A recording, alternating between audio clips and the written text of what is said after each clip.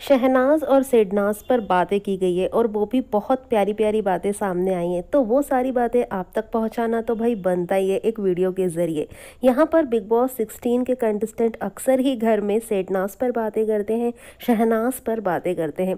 लेकिन यहाँ पर अभी एक इंटरव्यू बहुत ज़्यादा वायरल हो रहा है, जो कि है Bigg Boss sixteen contestant Priyanka Chaudhary का। तो प्रियंका ने इंटरव्यू में क्या कुछ खास बताया शहनाज के बारे में? और वो शहनाज के साथ पहले काम भी कर चुकी है, पंजाब पंजाब इंडस्ट्री में। तो सारी ही बातें बताएँगे हम आपको अपनी इस वीडियो में। तो आप प्लीज़ गाइज़ वीडियो को एंड तक ज़रूर देखिए।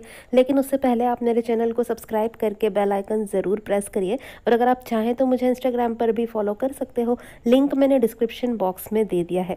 भाई शहनाज, सिद्धार्थ और सेडनाज, इनकी बातों के बिना तो सोशल मीडिया कभी कंप्लीट हो ही नहीं सकता। कोई इंटरव्यू कभी कंप्लीट नहीं हो सकता। हर इंटरव्यू में बातें होती है शहनाज पर और सेडनाज पर। लेकिन यार कुछ लोग बहुत अच्छी बातें करते हैं, बहुत प्यारी बातें बताते हैं तो वो सब जानकर दिल से बहुत ज़्यादा खुशी होती है। तो प्रियंका चौधरी का भी एक इंटरव्यू अभी बहुत ज़्यादा वायरल हो रहा है, जो कि हम आपको अपनी इस वीडियो में पूरी बात बताएँगे। इससे पहले हम आपको बता दें कि Priyanka Chaudhary Bigg Boss sixteen में आई हैं और उन्हें लोग बहुत पसंद भी कर रहे हैं, क्योंकि वो रियल लग रही हैं इसमें। वैसे तो मैंने भी बिग बॉस सिक्सटीन के बहुत ज़्यादा एपिसोड्स नहीं देखे हैं लेकिन जितना ऑडियंस का रिव्यू है, वो यही बातें बताते हैं कि बिग बॉस सिक्सटीन में अगर कोई रियल है, सबसे ज़्यादा रियल है और इंटेलिजेंट है तो वो है प्रियंका चौधरी। और अब उन्हीं का एक इंटरव्यू सामने आया गाइस जिसमें उन्होंने शहनाज पर बात की है।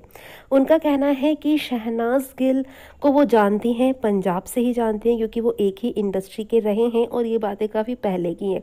और बिग बॉस सिक्सटीन में उनकी फेवरेट कंटेस्टेंट शहनाज गिल ही रही हैं, क्योंकि वो बहुत ज़्यादा रियल रही उसमें। उन्होंने गेम भी खेला और साथ ही साथ उन्होंने इंटरटेन भी किया और अपनी रियल पर्सनैलिटी दिखाई। उन्होंने बहुत अच्छी तरह से लोगों को एंटरटेन किया, चाहे वो टास्क के ज़रिए हो, या फिर वो रोज़मर्रा के जो एपिसोड्स होते थे, उनमें भी शहनाज गिल की पर्सनैलिटी बहुत ज़्यादा निखर के आई। आगे प्रियंका चौधरी कहती हैं कि शहनाज गिल अब बहुत बड़ी स्टार बन चुकी हैं, लेकिन एक ज़माने में वो शहनाज के साथ एक म्यूज़िक वीडियो में काम कर चुकी हैं, जो कि अब्रॉड में शूट हुआ था। तो ये बातें सुन के गए सचमुच बहुत ज़्यादा खुशी हुई कि जो शहनाज के साथ काम कर चुके हैं, आज वो भी ये मानते हैं कि शहनाज अब बहुत बड़ी स्टार बन चुकी हैं। आगे प्रियंका का कहना है कि उन, उनकी जो बिग बॉस की जर्नी रही, उससे काफ़ी कुछ सीखने को मिलता है। और आगे प्रियंका कहती हैं कि जिस तरह से बिग बॉस के बाद शहनाज की फ़ैन फॉलोइंग बनी, ऐसा बहुत कम लोगों के साथ हो पाता है। और शहनाज ने इस चीज़ को बहुत अच्छे से मेंटेन किया है और आज वो एक बहुत बड़ी स्टार है, जो कि अपने आप में एक बहुत बड़ी बात है। तो गाइज़ ये सारा ही इंटरव्यू प्रियंका का है, जो जिसमें उन्होंने शहनाज पर बहुत अच्छी बातें कही है और बहुत जेन्यन बातें बोली हैं उन्होंने। और ख़ास तौर पर जो उन्होंने शहनाज के लिए कहा कि वो बहुत रियल हैं और जेनुन है और ऐसे लोगों के साथ मतलब ऑडियंस बहुत जल्दी कनेक्ट कर पाती है। तो कहीं ना कहीं प्रियंका भी शहनाज को बहुत ज़्यादा पसंद करती हैं और इस तरह की बातें जब उनकी सामने आई तो भाई मुझे तो बहुत ही अच्छा लगा जानकर। आपको कैसा लगा?